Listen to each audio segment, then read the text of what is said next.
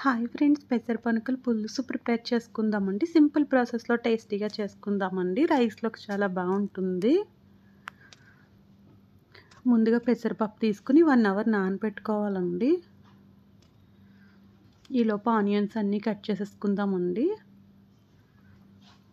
Onions అయితే cut చేసుకు వచ్చిన తర్వాత వీడియో షూట్ చేస్తున్నానండి. ఆనియన్స్ పచ్చిమిర్చి కరివేపాకు అయితే తీసుకున్నాను.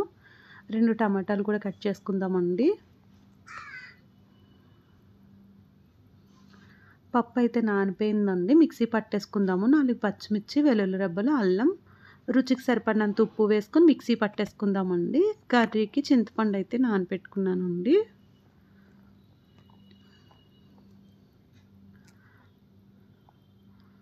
మిక్సీ జార్లోకి తీసుకొని పప్పు గ్రైండ్ చేసుకుందామండి.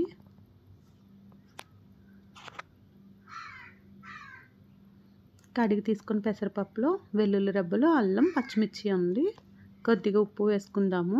మీరు కావాలంటే జీలకర్ర అన్నీ వేసుకోవచ్చు అండి. ఇంకా కర్రీ కదా అని ఇంకా నేను ఏమైతే ఏం వేయట్లేదు. ఈ విధంగా అయితే మిక్సీ అయితే పట్టేసుకున్నానండి. మిగతా పప్పు కూడా అంతా మిక్సీ పట్టేసుకుందాము.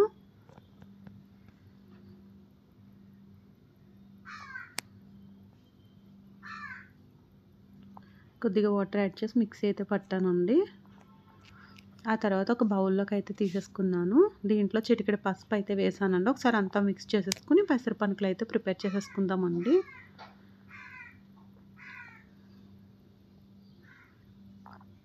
స్టవ్ వెలిగించేసి బాండి పెట్టుకుని పొనుకులకు సరిపడా ఆయిల్ వేసుకోవాలండి. ఆయిల్ అయితే వేడెక్కిపోయింది.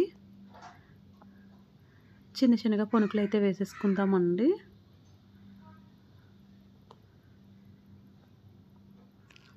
కర్రీకి అనేసి ఇంకా పనుకుల్లో అయితే ఏమి వేయట్లేదండి లేదు అంటే ఉల్లిపాయలు కొత్తిమీర అన్నీ వేసుకుంటే పనుకుల టేస్ట్ అయితే చాలా బాగుంటుంది.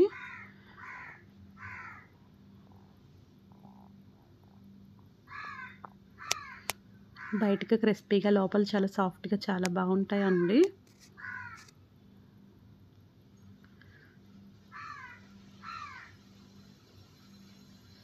వేగిపోయినాయి అండి ప్లేట్లోకి తీసేసుకుందాము.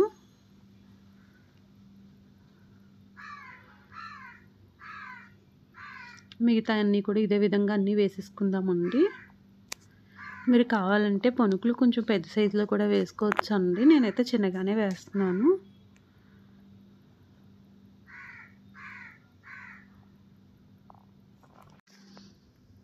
పొనుకులు చిన్నగా వేసుకుంటే కర్రీ పీల్చడానికి బాగుంటుందండి. కర్రీ అంతా తీసుకుని ఉప్పు కారం అంతా బాగా పడుతుంది.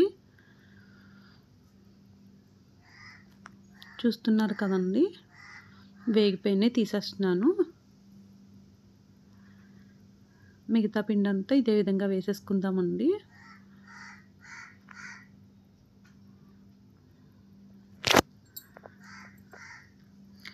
ఇదే పాత్రలో కర్రీ ప్రిపేర్ చేసేసుకుందామండి. ఈ ఆయిల్ పక్కకు తీసేసుకుని కర్రీకి సరిపడా ఆయిల్ తీసుకుందామండి. ఇప్పుడు ఆయిల్ అయితే దీంట్లోనే జీలకర్ర ఆవాలు మెంతులు వేసానండి. కరివేపాకు పచ్చిమిర్చి వేస్తున్నాను. వేగిపోయిందండి. ఆనియన్ వేస్తున్నాను. ఆనియన్ని గోల్డెన్ కలర్ వచ్చే వరకు వేయించుకుందాం అండి మధ్య మధ్యలో కలుపుతూ ఉంటే సరిపోతుంది. రుచికి సరిపడినంత ఉప్పు అయితే వేస్తానండి. ఆనియన్ తొందరగా వేగిపోతుందని.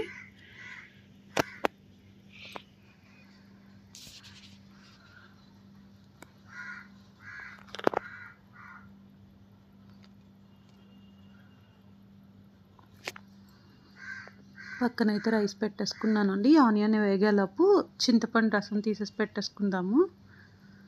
పలుచగానే తీసుకోవాలండి. పులుసు కదండి అందుకని పలుచగానే ఉండాలి.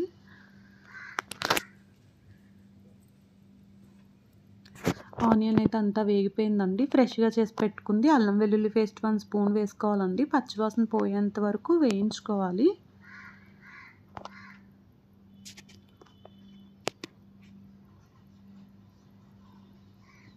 అంతా వేగిపోయిందండి. టమాటాలు వేసేసుకుందాము. టమాటా తొందరగానే మగ్గిపోతుందండి.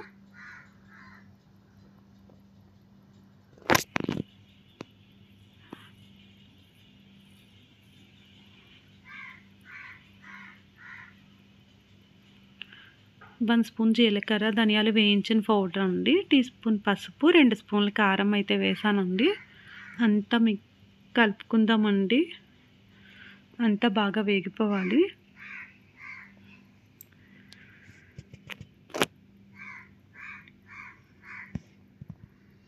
చూసారు కదండి ఈ విధంగా ఆయిల్ అంతా పైకి తేరింది కదండి అంతా వేగిపోయినట్టు. ఒకసారి అంతా మిక్స్ చేసేసుకుని చింతపండు వాటర్ ఉంది కదండి అవి వేసేసుకుందాము.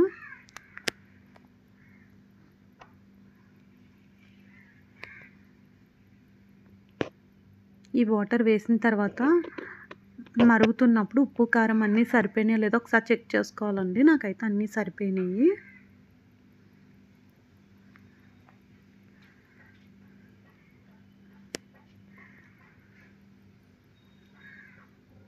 ఈ పెసరపనుకులు వేసేస్తున్నానండి. ఒక టెన్ మినిట్స్ ఉంటే కర్రీ అయితే రెడీ అయిపోతుందండి పెసరపనుకుల పులుసు. ఈ పొనుక్కి కర్రీ అంతా పీల్చుకుని కర్రీ టేస్ట్ అయితే చాలా బాగుంటుందండి. పొనుకు కూడా చాలా సాఫ్ట్గా టేస్టీగా ఉంటుంది. మీ దగ్గర కొత్తిమీర ఉంటే పైన కొత్తిమీర వేసుకోవచ్చండి.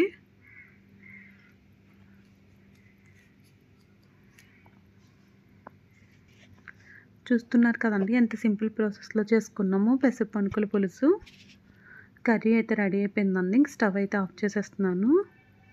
ఈ రెసిపీ మీకు నచ్చినట్లయితే తప్పకుండా ఒక్క లైక్ చేయండి.